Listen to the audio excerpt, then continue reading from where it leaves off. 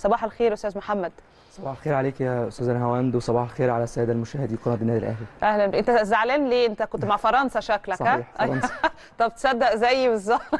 صحيح بس ده. الحزن لتاني يوم. بس على فكرة إحنا ما فيش مننا كتير. لا فعلا كان يعني معظم آه معظم كانوا الأرجنتين 95 وليونيل ميسي.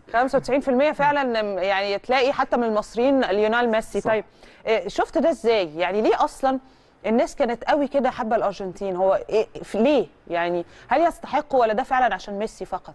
يعني المنتخب الأرجنتيني آه، صحيح البداية كانت مفاجأة من مرات المنتخب السعودي آه، لكن آه، بعدها المنتخب الأرجنتيني قدر إن هو يصحح ال- الوضع ويصحح المسار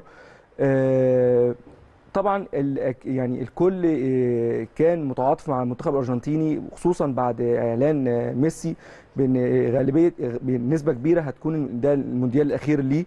فيعني يعتبر خلاص اللي هو يعني يعني البطولة دي بالنسبة له يعني حياة أو موت.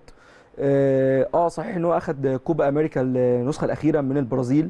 آه بعد لكن صعوبة برضه ما كانش حصل عليها يعني كان عنده زي إحباط فترة كده هي ليه ما. بيحصلش عليها. صحيح. ف فأكيد يعني آه، آه، بعد كمان آه، محاولة في 2014 ومباراة نهائي مع منتخب ألمانيا فكان بالنسبة له البطولة دي كانت مهمة جدا. وقدر إن هو يحققها وأكيد إن هو يعني زي ما بيقولوا كده قفل اللعبة خلاص يعني كل البطولات آه، سواء مع أندية أو منتخبات عملها وحققها. دي حقيقة دي حقيقة. هو يمكن كمان أعلن إن ده آخر مونديال ليه يشارك فيه بس عشان برضو الناس اتلخبطت شوية مش آخر مشاركة دولية لميسي بالعكس هو قال هو فخور إن هو هيمثل الأرجنتين مرة أخرى دوليا بعد ما فازت بلقب أو بكأس العالم لكن هو ده كان آخر مونديال فقط لميسي يعني.